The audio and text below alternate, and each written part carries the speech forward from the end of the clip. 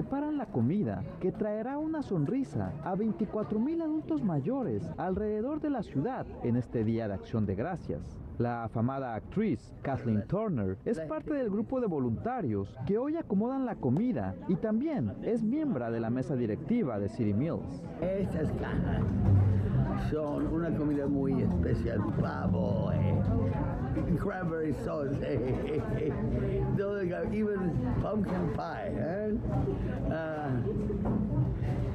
Es una celebración para todos.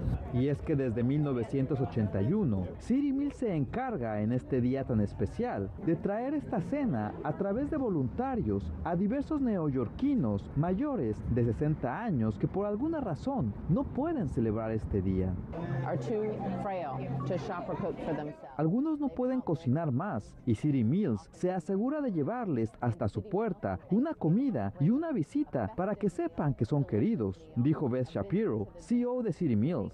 Y en Harlem, el congresista Adriano Espaillat y el alcalde de la ciudad de Nueva York se unieron a una tradicional entrega de comida a la comunidad una oración, el reverendo Al Sharpton recibió a diversos líderes electos para que con guante en mano y delantal puesto sirvieran comida a la comunidad necesitada de Harlem.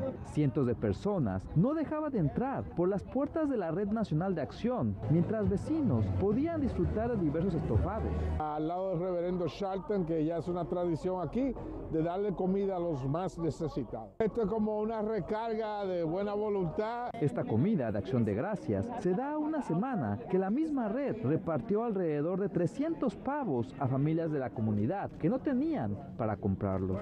En Manhattan, Joaquín Torres, Noticias Univisión 41.